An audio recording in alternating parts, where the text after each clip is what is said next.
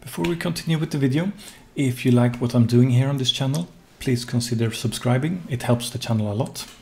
Anyway, let's get back to the video. Welcome back to my RPG series. In this episode, we will continue to build upon our XP component, and we will be adding the functionality of leveling up. So let's start with opening that one up. So here is where, where we left it off uh, the last time. And what we want to do now is we want to have the ability to, when we accumulate enough experience, we want to have our character level up. Now, uh, the point where that makes the most sense is most likely directly after having awarded our XP. So let's actually create a function for this uh, to begin with. So we'll make a function and we'll say try to level up. The reason we call it this is because we will call it all the time over here, so we can even start doing it right now.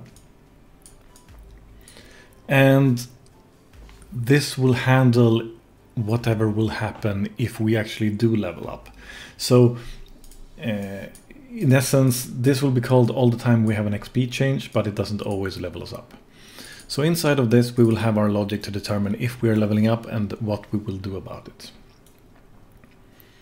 So um, to begin with, we want to have some sort of um, determination of have we reached enough experience points to level up? How do we determine that? We need to have some way of comparing our current XP level against some other value to see if we have leveled up or not.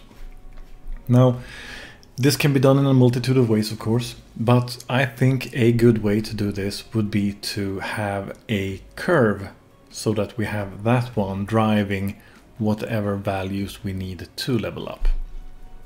What I mean with this is if we start off creating a variable and we call this, um, let's call it level curve and we'll make it of the type float curve. Uh, most of you should probably be aware of how this works. If you do not, I have a tutorial on curves, so you can um, get more acquainted about that if you need to. Uh, I will leave a description in, uh, I will leave a link in the description as well. But essentially, if we have a level curve like we have now, we have a float curve here we can select, but we haven't actually created a curve. So going to our BP uh, XP folder here, we can now right click and we can go and I do believe we find it under miscellaneous. Yes, here, curve. And we choose a float curve and we can call this C for curve and then we can call it level or something like that. Opening this up, this is what we're presented with. Now, a curve is essentially uh, one axis that represents time and one axis that represents a value of something in accordance with that time. But it doesn't need to be that. You can have the axis be whatever you want them to be. In this case, we can actually do the following. We can consider the time axis, the one going left to right, to be our level. And we can consider our uh, vertical axis to be whatever experience points we need to reach that level. So Assuming that we have a leveling system where we start at level 1, then we would want to have a key over here at 1. So now it ended up at 1. If you don't get exactly 1.0 here, you can just fill that in. And then we'll have 0 as our starting XP. So, so that like makes sense, right? Next up, we have level 2. So level 2, we would create a, another key for. It ended up on 2 exactly. And then as a value, we can say maybe we need 150 XP. And now you can see that we get a very sharp uh, angle for this. Now, let's see, where is it? Is it uh, zoom to fit? That's not what I want. What you can do is, if you hold down control and press A, I think, it should mark all of them. Yes. So now when we zoom to fit, you'll see the whole curve essentially, which works to begin with. You can also scroll out and in with your mouse wheel to um, zoom in and out. In addition to the point at level 2, we'll just create a curve for, let's say, 5 levels, just so we have something. So at level 3, we'll create another key. We'll say we need uh, 400 XP. And then after that, let's say we create one at level 4. And we'll add a value of, let's say, 8000. And then let's zoom out a little bit more, go to level 5, which would be here, add a key, and for that one we add the value 5000. Now control A to mark all the points and then zoom to fit. This is now our leveling curve. So we can now make use of and check against if we are at level 1 and then we check our experience and we can check have we reached this point of experience to uh, or, or have we reached this point of experience? If we have, then we have essentially leveled up. So saving this, this is what we will be making use of for our XP. So in level curve here, we will now choose C level, like so. Here we now want to have that logic being run, determining if we have leveled up. And then after that, if we have leveled up, we want to have a branch to determine if we have leveled up and act in one way, and if we haven't leveled up, we're basically done here. So here we can add a return node immediately, actually. Return. So what do we do here? Well, we can create a function for this. Let's create a function and we can call it uh, level up question. Excuse me. question level up question mark. And in this, we're going to have a very simple amount of code actually. Uh, first, we're going to check uh, based on our current level, if we have reached uh, max level. Now we made a curve for five levels. So let's create some variables for this. We can have one that says current level, which is the level that we will be using to inform the system what level we are. We will make it of a type integer. We will say that the default current value will always be one to begin with. We can say we can create another variable for max level. So this is the level cap essentially of the game we can set that one to 5 so it matches our current leveling curve. So we essentially want to do this. We get the current level, we want to check is this current level the same as the max level? And if it is true, then we know we have reached max level. We're not interested in actually leveling up anymore. So we'll just hit a return and we want to have a determination here if we have leveled up or not in the try to level up function. So what we'll do is we will add a return node, uh, a, a, return parameter, and we'll call this uh, leveled up. And in this case we are at max level, so we won't level up. So that's all good and fine. Other than that, we now want to make use of our level curve. So how do we do this? We have our current level and we want to check if we have reached the cap for the next level. So we can add one to this, means that we will be checking against the next level after the current level that we have. We can then take our level curve, like so, and we can say get float value, since this is a float curve, and our time interval that we're checking is actually our level. So that's why we're hooking that up like that and it will be truncated and turned into an... Actually, it won't be truncated, it will be converted from an, uh, an integer to a float. And this value we now want to compare against our current XP. Because our current XP is showing how much XP we have and we need to check and see if we have surpassed this amount. So we check current XP greater or equal than whatever we're needing for the next level up. And we check branch, hook it up like so. if it is true, then we have determined that we are actually leveling up. So we'll take our current level and we'll type in plus plus to increment it uh, with the macro.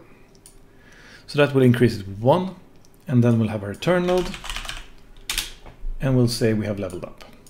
If it did not, then we have actually another return node here for false saying that we did not level up. Now going up back to our try to level up function, we can now use this function like so. Hook it up here. And we can now start writing code for our um, leveling up process essentially. So what do we want to do here? Well, one thing we for sure want to do is to check if we have gotten so much experience that we have leveled up multiple times. To first have some debugging to see if we actually do level up, we'll put in a print here saying that we leveled up. Like so. After that, we will make this recursive, and recursive means we have a function that actually calls upon itself. So we will call on try to level up after this, and then we will return. So this means, if you're not familiar with recursiveness, that it will be called here, it will try to level up. If it did level up, it will print level up. Then it will call try to level up again, which will be going in here. Then it will try to level up again. If it is not able, for example, it will go through here, it will return, it will come back to where it was here last time and return here, and then it's done. However, if it came here, leveled up once, comes back to call it itself again, levels up again, it goes through the same procedure again, and essentially it digs itself deeper and deeper in levels of function calls until it doesn't level up anymore, and then it starts to return from all of the different layers. Using recursive functions can be very dangerous. It's very easy to uh, create something that's infinite. So you need to make sure that you have proper exit conditions and it's, it is usually good to have some kind of fail safe in case you do something wrong, just to make sure you don't end up in an infinite loop or something like that. But yeah, so this is essentially our uh, level up code now done. We compile, we save. Going back to our event graph now, we can see that we have our function here, which we will be trying to level up with. And that should probably be all the functionality that we need right now. So let's put in some debugging information to see if this is actually working. We go to our third person character. We will add another event or input. We'll type in keyboard 5 and we'll say that we want to take the BBC XP and we will simulate that we will be getting experience points now here. So we will type in award XP, which is the function that is called whenever you try to give someone XP. And we'll type in a value of, let's say, 100. Going back to our third person character and going into full screen. And in the top left, right, top left right now, if I press the one, the five key right now, we get 100 XP and nothing happens because our first level up was at 150, I believe. So pressing it again, we can see that we get a level up. And then I have to, they will get another level up and then the level ups will become less and less frequent because we had higher values between the different level ups the further we went uh, up. And now I think we have leveled up four times and we're actually at max level. Uh, we could actually check this and see going to our third person character XP we can see that we're at 5600 experience right now. So the functionality seems to be working. So let's try out and see if our double or multiple level ups actually works. So we'll stop this and we'll make sure to go to our third person character and award enough experience points so that we will level up multiple times. So let's say we do a thousand. Compile, save, run, and full screen mode. And then we press five. You can see we leveled up three times. So that seems to work also. So the, the idea here is essentially that in this area here is where we would be handle whatever, handling whatever logic we need to handle when we level up. Now this depends uh, from game to game, of course. Uh, some games you maybe get some uh, flashy uh, special effects of having leveled up. In other games you might have the game pause and have like a option of uh, talent choices or something like that appearing. Uh, and uh, for others it might just be like a notification being sent up and then you have to go to a character screen and then you can allocate resources or something like that but yeah so this is essentially where we would be handling all of the uh, communicating to the player that it has leveled up essentially. I think that's a good spot to stop for today. I hope to see you in the next episode. Hopefully you found this video helpful.